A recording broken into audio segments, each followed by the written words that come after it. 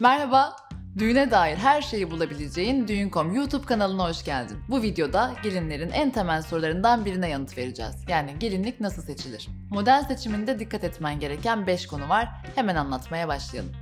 Düğün için her şey. Gelinlik işini son dakikaya bırakma.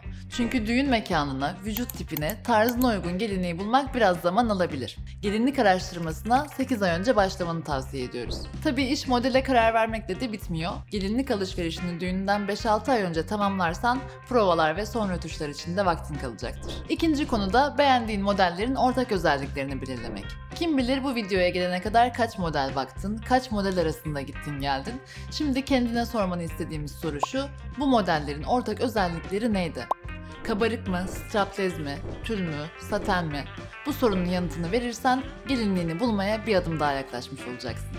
Bir diğer konu da vücut tipin. Özetle 5 çeşit vücut tipi var. Biz kısaca anlatalım, sen hangi vücut tipine sahip olduğuna karar ver.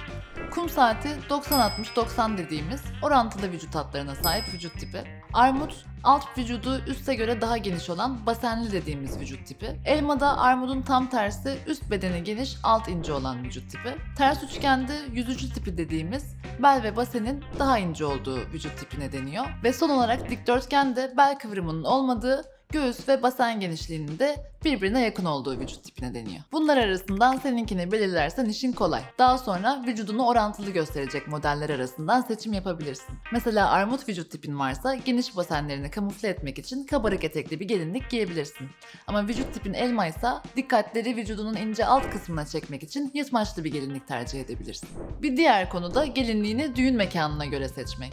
Eğer gelinliğin ve düğün mekanın uyumlu olursa bu seni daha hoş gösterecektir ve seçimlerin arasında da denge kuracaktır. Mesela cıvıl cıvıl bir kır düğünü yapacaksın diyelim. Burada kabarık etekler ve ağır kumaşlar pek hoş görünmeyecektir. Bunun yerine tül ya da şifon kumaşlardan uçuş uçuş hafif bir gelinlik tercih edebilirsin. Kabarık etekli ve ihtişamlı gelinlikleri ise şık salon düğünleri için öneriyoruz. Son olarak gelinlik alışverişine kalabalık bir ekiple gitmemeni tavsiye ediyoruz. Karar verirken yakınlarının görüşünü almak senin için önemli olabilir ama farklı farklı fikirler kafanın daha da karışmasına yol açabilir.